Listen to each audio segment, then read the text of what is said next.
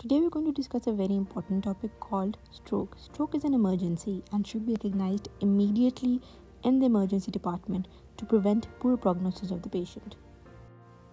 According to Centers for Disease Control, stroke, sometimes called a brain attack, occurs when something blocks blood supply to part of the brain or when a blood vessel in the brain bursts.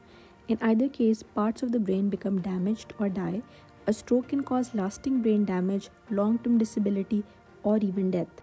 Here comes a very important scale called Rosier scale, which stands for Recognition of Stroke in Emergency Room.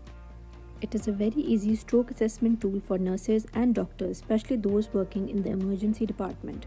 The scale is based on the history and examination. There are two points which, if present in that patient, give a negative mark. These include history or current loss of consciousness or syncope, or any seizure, which means fits. For either of them, you will subtract 1 point from the total score. Next, there are 5 points which are the main indicators of stroke, and for every correct point or symptom or sign present in the patient, you will give them 1 mark.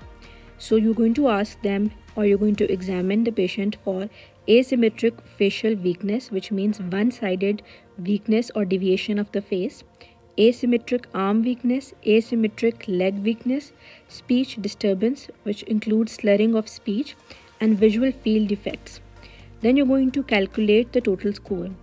It will range somewhere between minus 2 to plus 5. Stroke is unlikely but not completely excluded if total scores are equal to or less than 0.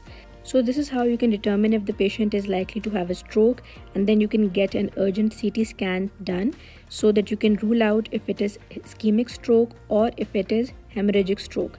If the score is very low and there are other signs or symptoms present then you can evaluate the patients and treat them accordingly.